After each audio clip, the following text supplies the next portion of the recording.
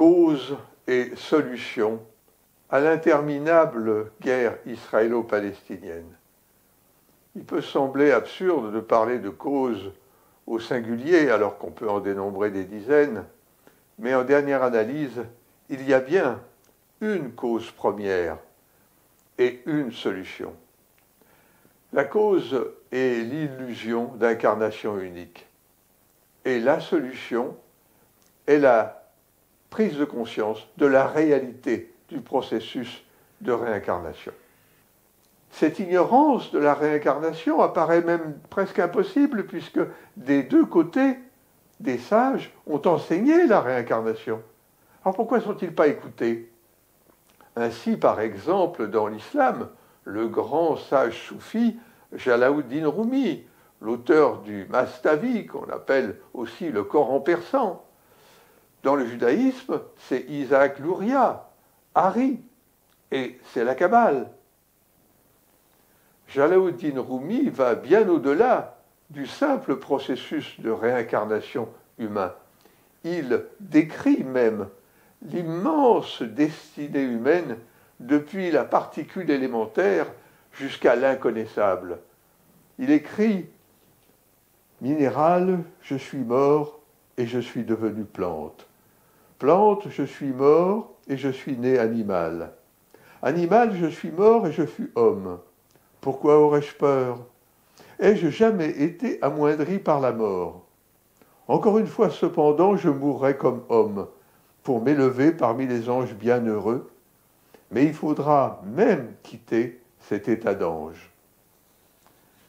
Ailleurs, il écrit J'ai vu deux mille hommes qui furent moi, mais aucun aussi bon que je le suis maintenant. Dans le judaïsme, Isaac Luria et la Kabbale enseignent aussi la réincarnation. On peut lire dans le Zohar aussi longtemps qu'une personne ne parvient pas à atteindre ses objectifs dans ce monde, le saint, béni soit-il, la déracine et la replante autant de fois qu'il faut. Toutes les âmes sont sujettes à la réincarnation. Nul ne connaît les voies du saint, béni soit-il. En pratique, cela signifie que les juifs d'aujourd'hui ont pu être dans le passé ou seront dans le futur des musulmans, et inversement, les musulmans d'aujourd'hui ont pu être des juifs dans le passé ou le seront dans le futur. Cette guerre est donc un pur combat fratricide.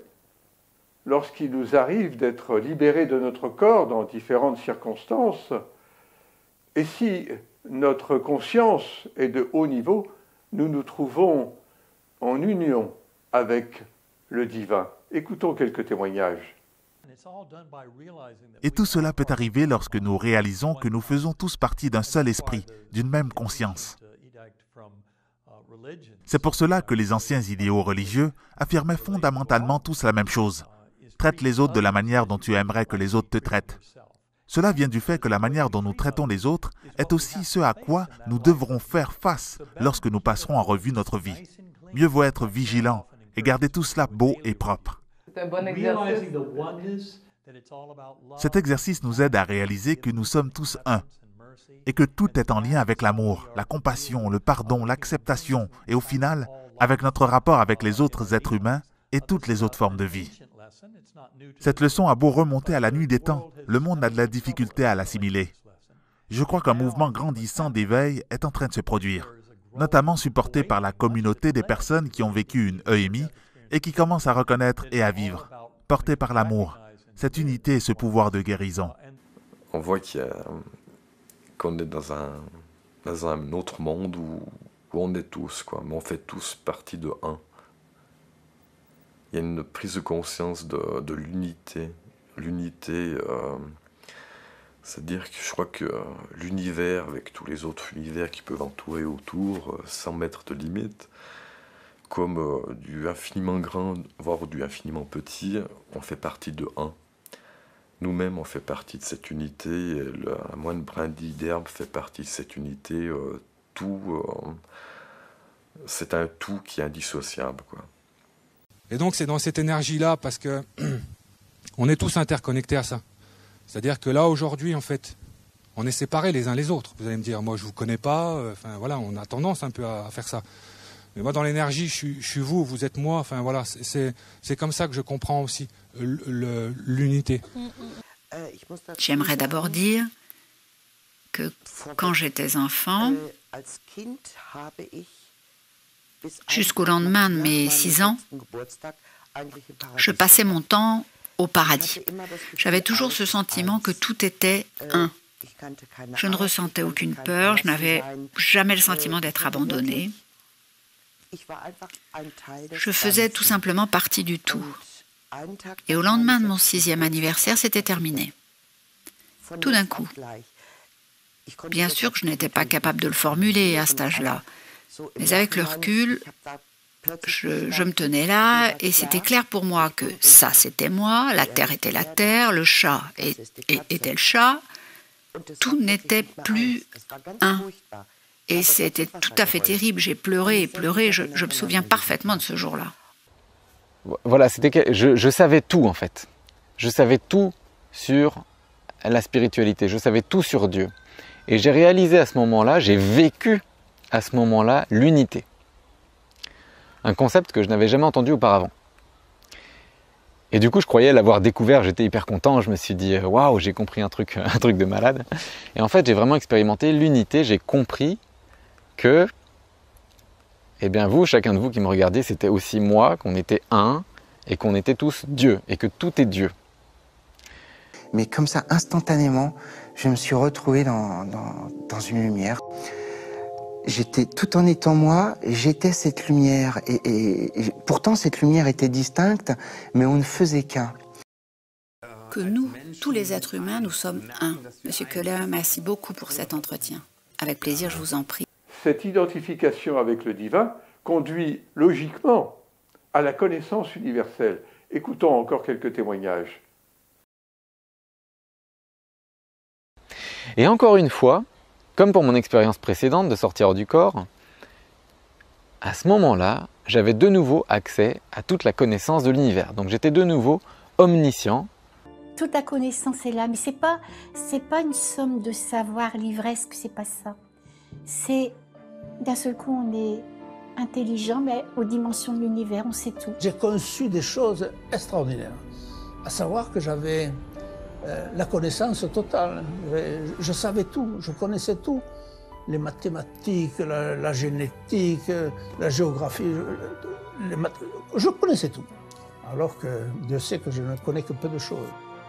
Et à la fois, je baigne dans la connaissance de tout. Je sais tout sur tout. C'est incroyable. Alors là, je me suis dit, euh, il va absolument falloir que je me rappelle de tout ça pour le ramener. Et euh, on a beau tout savoir sur tout, la grande frustration, c'est quand on revient, on revient avec juste des petites miettes. Alors c'est les petites miettes que je vous partage. L'immersion dans cette conscience nous donne accès à une connaissance bien plus grande. On sait soudain tellement de choses. On prend euh, accès à tout, quoi, en fait. On a le droit à tout, au savoir. Et en fait, à ce moment-là, en fait, c'est comme si on, on se connectait euh, sur le web, on peut prendre ça comme euh, parallèle. C'est comme si, euh, via mon PC, tout d'un coup, j'ai accès à toutes les connaissances qu'il y a au travers du web, à toutes les banques de données, mais que je peux les lire tout au même instant. Le fait, si je me pose une question, rien qu'en se posant la question, on a la réponse. 2100 20, 20, je sais pas combien, plein de questions en même temps, puis en même temps je recevais les réponses, en même temps je vivais les réponses, en même temps j'étais les réponses. Euh, Ce qui m'a frappé euh, également, c'est la connaissance. Euh, que j'ai reçue ou que j'ai retrouvée même, je préfère employer ce mot, lors de mon expérience. C'est-à-dire qu'au moment où je suis rentrée dans la lumière, j'ai eu l'impression en même temps de retrouver, de me retrouver chez moi, dans ma maison, et de retrouver une connaissance intégrale. Bizarrement, j'avais le sentiment d'être enveloppée d'amour. J'étais capable de tout comprendre. Quelle que soit la chose sur laquelle je m'interrogeais, j'avais la réponse avant même d'avoir formulé la question. C'était comme si ma tête était grande ouverte, comme si je pouvais capter toutes les informations dont j'avais besoin. J'ai vécu des expériences semblables et je peux vous en garantir l'authenticité. La fin de cette horrible guerre ne peut venir ni de la diplomatie ni des négociations qui ont montré toutes leurs limites. Il y a de chaque côté des minorités qui n'en veulent à aucun prix. Il y a trop de sang versé, de vengeance inassouvie, et surtout de chaque côté la certitude euh, d'agir selon la volonté de Dieu. Si les sages du passé qui enseigné la réincarnation n'ont pas été entendus, parce que c'était que des croyances, la science d'aujourd'hui peut le démontrer expérientiellement et de manière incontestable. Et ceci de deux manières. Premièrement, par les témoignages des expérienceurs de situations proches de la mort, ramenés à la vie grâce au progrès de la médecine. Deuxièmement, par la découverte des souvenirs de nos vies antérieures, rendus possibles par la psychologie et les neurosciences. De nombreux psychologues et psychiatres s'y emploient depuis plus d'un demi-siècle. Le professeur Ian Stevenson, qui fut professeur de psychiatrie à l'Université de Virginie, le docteur Helen Wambach, une psychologue californienne, le docteur Brian Weiss, le docteur Raymond Moody, qui fut aussi un pionnier de la recherche sur les expériences proches de la mort, le docteur Joel Wheaton, qui travaillait aussi sur les vies entre les vies, docteur Michael Newton, qui étudie particulièrement la vie entre les vies et la programmation, le docteur Edith Fior, qui a étudié les maladies karmiques, le docteur Roger Woolger, et tant d'autres. Je pratique moi-même l'exploration des vies antérieures et j'amène les gens à découvrir des vies antérieures depuis une trentaine d'années. Je fais en France, en Afrique, en Inde, je peux confirmer qu'en une session d'une demi-heure à trois quarts d'heure, plus de la moitié des participants découvrent des souvenirs de leur vie passée.